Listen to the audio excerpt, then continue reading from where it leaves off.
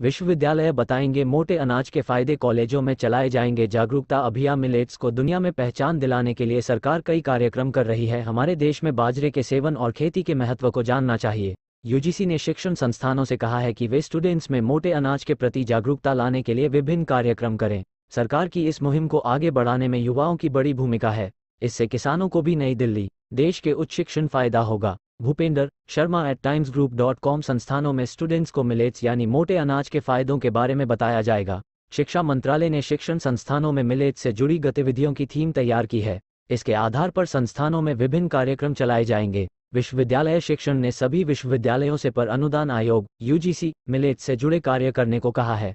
मोटे अनाज को दुनिया भर में यूजीसी ने कहा, संस्थान सरकार ने साल 2023 को जागरूकता घोषित करवाया है। भारत अभियान चलाएँ यूजीसी के अध्यक्ष प्रो.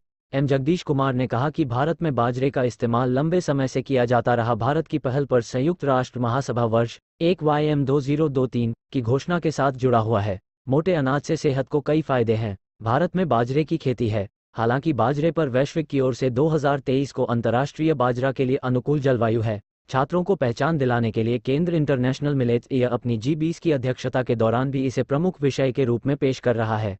सरकार मोटे अनाज को लोकप्रिय बनाने के लिए देश और विदेश में कई कार्यक्रम कर रही है। भारत मोटे अनाज का प्रमुख उत्पादक देश है, जिसमें ज्वार, बाजरा, रागी और छोटे बाजरा के साथ साथ कंगनी, कुटकी या छोटा बाजरा शामिल हैं। वैश्विक रूप से बाजरे की प्रासंगिकता बढ़ रही है। शिक्षण संस्थान भी सरकार की इस मुहिम के साथ जुड़ रहे हैं।